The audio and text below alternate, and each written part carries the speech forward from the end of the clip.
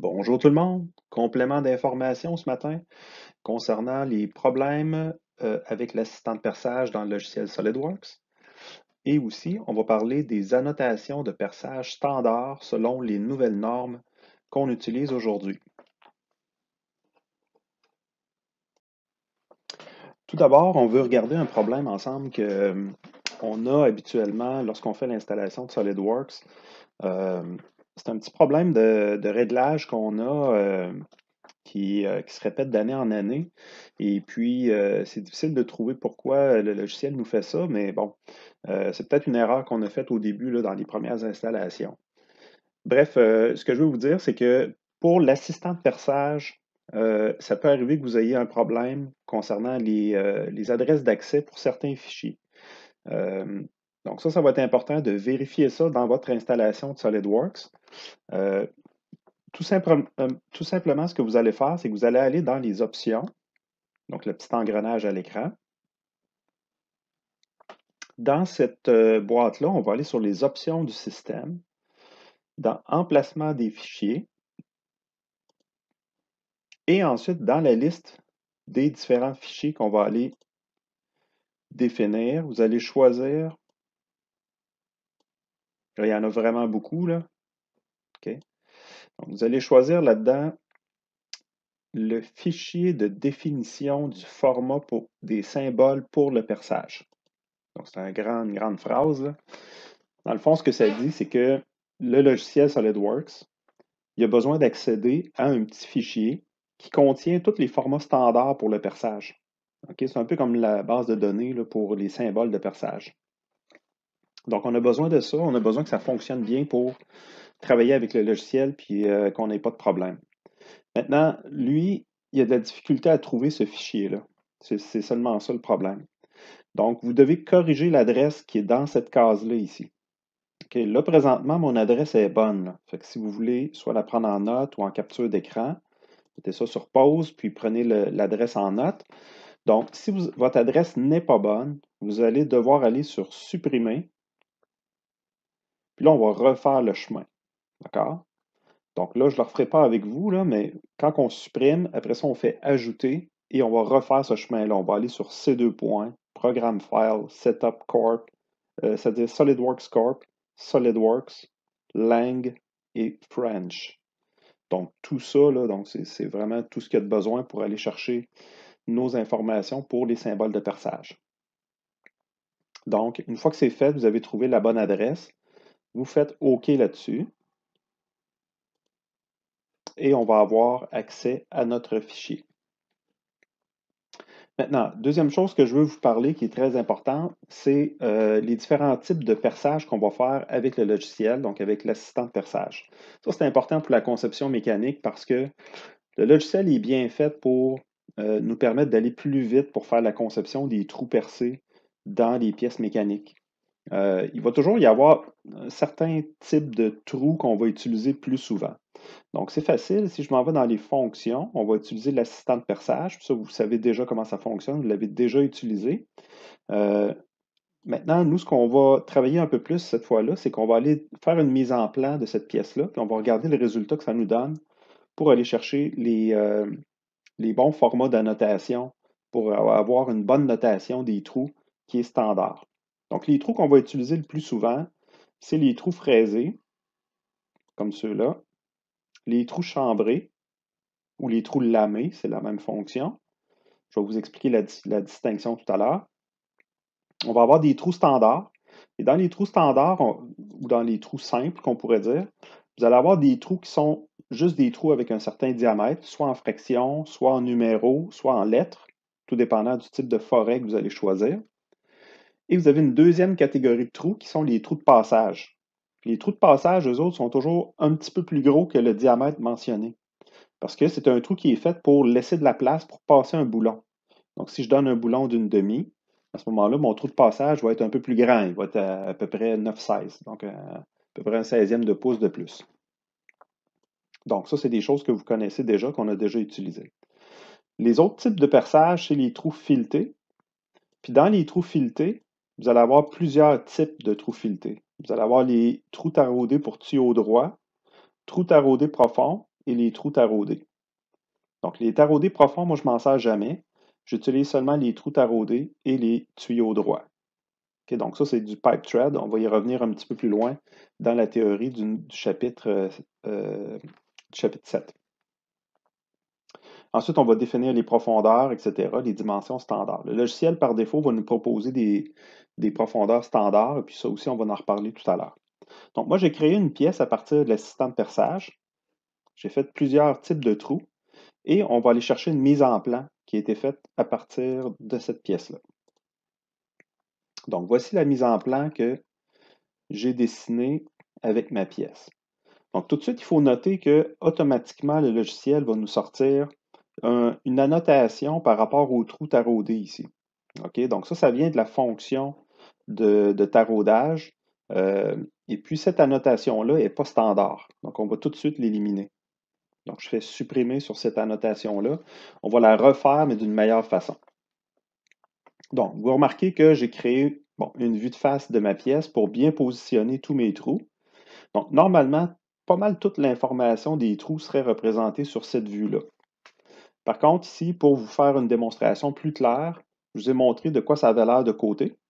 Donc, si je fais juste une vue de côté, tout est en pointillé ici, puis j'ai beaucoup de chevauchements de pointillés, beaucoup de lignes d'axe, donc ça devient vraiment pas clair. Donc, c'est pour ça que j'ai choisi ici de faire deux vues en coupe, pardon, qui vont me permettre de, voir la forme des trous à l'intérieur. Euh, maintenant, ce que je veux faire, c'est vous montrer comment on va euh, utiliser les annotations de perçage pour chacun de ces trous-là. Donc, première chose qu'on va faire, c'est qu'on va utiliser une fonction qui s'appelle symbole pour le perçage. cette fonction-là va me permettre de retrouver l'information de l'assistant de perçage. Puis là, ce que je vous ai montré au début, concernant les réglages, là, qui avait des, petits problèmes, euh, c'est important que vous ayez réglé ce problème-là si vous voulez que cette fonction-là euh, soit euh, fonctionnel, si on peut dire, donc si on veut que ça aille bien. Donc, si je me déplace avec la fonction, je viens sélectionner un perçage. Donc, regardez ce qu'il vient de me faire. Donc, il m'a écrit une annotation pour mes trous chambrés que j'avais. Donc, les trous chambrés, on le voit la forme ici. C'est vraiment une portion qui est plus grande ici pour laisser euh, entrer la tête de la vis. Donc, on va venir cacher la tête de la vis. Maintenant, qu'est-ce qu'il me donne comme annotation? Donc, euh, je vais vous montrer quoi faire avec ça pour que ce soit de la bonne façon. Euh, premièrement, nous, lorsqu'on a un texte qui est euh, placé de cette façon-là sur deux lignes, on va venir le justifier du côté gauche. Justifier, ça veut dire que les deux lignes vont partir du même côté. Donc, regardez ici le petit bouton Justifier. Je vais aligner à gauche. Donc, on voit ici le texte va partir égal de ma ligne. À partir du moment où je m'en vais de l'autre côté, si je m'en vais par là, le texte va changer de direction. Voyez-vous? normalement, ici, je devrais être aligné du côté droit. D'accord? Donc, je vais ramener mon texte de ce côté-là. Donc, on n'utilise jamais le texte centré comme ça. C'est tout le temps soit d'un côté. si j'inverse mon texte comme ça, mais là, il est centré, mais de l'autre côté, ou justifié de l'autre côté. Maintenant, deuxième chose, c'est que vous remarquez que automatiquement, le logiciel a découvert que j'avais deux trous percés chambrés avec les mêmes dimensions. donc, c'est quand même bien. Il m'a mis qu'il y en avait deux fois. Fait la première chose qu'on va voir, c'est 2x, ça se fait automatique. Diamètre, donc ça, c'est le diamètre du trou percé au milieu, le plus petit trou, qui va avoir 0.53. Donc, il va être un petit peu plus grand qu'un boulon une demi. C'est ça que j'avais choisi dans mes réglages. Donc, un petit peu plus grand qu'un boulon d'une demi et il m'a rajouté la notation à travers tout. Par la suite, euh, ce qu'on voit dans la notation, c'est qu'on a l'indication sous forme de symbole pour les diamètres, mais aussi pour le chambrage. Donc, on a une espèce de symbole de rectangle comme ça. Et on a la flèche par en bas qui vient signifier la profondeur. donc, avec ça ici, j'ai le petit diamètre 0.53 qui est à travers tout. J'ai le gros diamètre du chambrage et j'ai la profondeur euh, qui va être donnée directement comme ça. Donc, normalement, là-dedans, on ne devrait pas avoir de texte. Donc, la portion qui est écrite à travers tout en texte, cette portion-là est facultative. Donc, si jamais vous manquez d'espace et vous voulez la supprimer, c'est possible. Donc, on va juste aller sur la petite case ici qui sert à modifier le texte. Donc là, je vais l'agrandir pour qu'on voit bien le texte. Et vous allez avoir la notation qui est HWTHRU.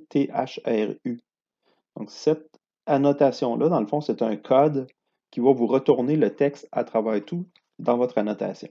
Donc, si je fais supprimer au clavier, il va tout simplement m'enlever le texte à travers tout et je vais avoir une annotation qui est plus légère à, à gérer dans ma cotation. Ensuite, ce que je vais faire, je vais juste vous montrer qu'est-ce qui arrive si je fais, par exemple, là, je suis encore dans ma fonction de, symbole de perçage. Donc, qu'est-ce qui arrive si je viens pointer le deuxième trou chambré qui a les mêmes informations? Et voilà, il va vous afficher une annotation qui vous dit vous allez créer plusieurs symboles pour le perçage sur cette répétition de l'assistant de perçage. Est-ce que vous voulez continuer? Ça, ça veut dire qu'on a déjà fait un symbole, une annotation pour les perçages. Si j'en fais une deuxième, c'est une erreur. Donc, il faut, dire non à cette, euh, cette phrase-là, dans le fond, pour garder seulement qu'une annotation ici, parce que c'est deux fois la même chose. Puis des fois, ça peut, être, ça peut arriver dans un dessin, lorsque les dessins sont assez complexes, puis on a des trous dans différentes directions, des fois, on oublie qu'on avait certains trous ailleurs, qui étaient déjà annotés du même type. Ensuite, ce qu'on va faire, c'est que je vais vous montrer un autre type de perçage. Cette fois-là, c'est un trou fraisé. Donc, si je clique sur le diamètre, comme ceci, donc on voit que la notation est semblable. Donc, je vais avoir diamètre, Ici, je n'ai pas de nombre de fois parce que j'ai seulement qu'un trou de ce type-là. Et puis, euh, je vais avoir la notation à travers tout encore. J'ai le symbole de fraisage qui est comme un gros V, diamètre, et j'ai le diamètre du euh, fraisage. Euh, dans le fond, c'est le diamètre le plus gros du fraisage. Et j'ai l'angle de fraisage. la notation est un peu différente pour la deuxième ligne. Euh, vous pouvez encore une fois éliminer la notation à travers tout, qui n'est pas essentiel. là, si vous remarquez une différence que j'ai faite, c'est que quand j'ai cliqué sur mon perçage, j'ai pris la portion intérieure ici, tandis que tantôt, j'avais pris la portion extérieure. Donc, le logiciel, lui, ne fait pas de, distinction. Il va vous mettre la notation sur, un cercle ou sur l'autre, et ça va donner le même texte quel est le bon standard, dans le fond, dans les deux? Euh, moi, je ne fais pas de distinction. Ça ne me dérange pas si vous pointez à l'intérieur ou à l'extérieur. Euh, donc, euh, c'est un ou l'autre, ça va être à votre choix. Ensuite, les autres perçages qu'on a, on a des trous filetés. Donc là, les trous filetés, je m'approche ici, je clique sur mon perçage, je me déplace un peu et on voit apparaître la notation. Cette fois-là, j'ai quatre trous percés. Donc, j'ai comme un groupe de, trous filetés. Cette fois-là, les trous, c'est des trous de diamètre 0.31 avec une profondeur de 1 pouce. Et j'ai une portion filetée à 3,816 UNC avec une profondeur de 0.75. Donc, le filet a une profondeur de filetage différente de ma profondeur de perçage. C'est sûr parce que mon trou que je vais percer va toujours être plus profond que les filets que je veux faire. Euh, maintenant, il faut faire attention ici. Euh, le point 31, ce n'est pas nécessairement exactement le bon diamètre qu'il faut prendre.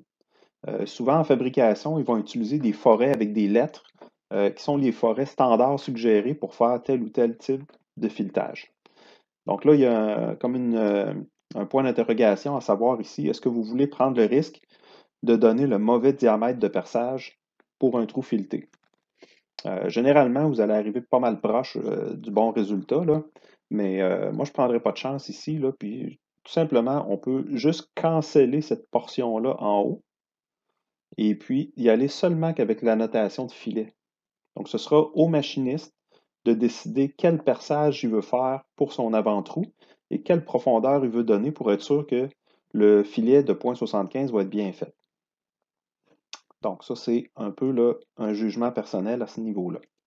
Donc, moi, ce que je pourrais faire ici, c'est que je viendrais enlever toute la portion dans mon texte, toute la portion d'en haut ici. Je garderai juste le 4 fois. On va justifier ça du bon côté et c'est la notation que je garderai. Parce que, comme je vous disais, l'avant-trou, je ne veux pas nécessairement le donner. Des fois, on veut laisser le machiniste choisir c'est quoi le perçage qu'il veut faire avant. OK. Donc, un dernier trou ici que je vais vous identifier, c'est un trou lamé qu'on appelle. Donc, qu'est-ce que c'est qu'un lamage? Un lamage, c'est un peu comme un chambrage, euh, sauf que c'est un chambrage qui n'est vraiment pas profond. D'accord? Donc, je vais vous le montrer ici, vu en coupe. Donc, mon lamage, là, c'est vraiment juste euh, une, petite profondeur que je vais prendre avec mon outil.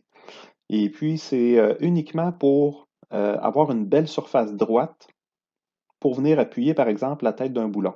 Donc, ça ne vient pas cacher la tête d'un boulon. Un chambrage, comme on est ici, lui, il va cacher la tête du boulon ou de la vis.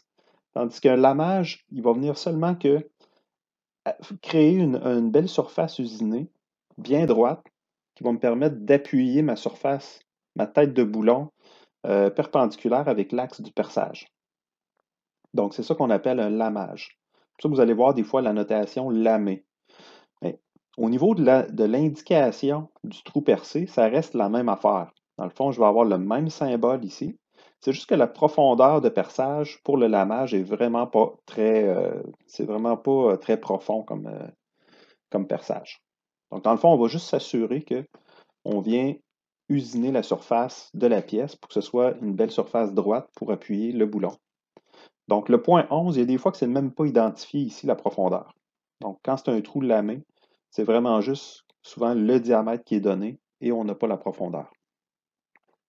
Pour chacune des annotations qu'on a là, le texte à travers tout peut être éliminé sans problème.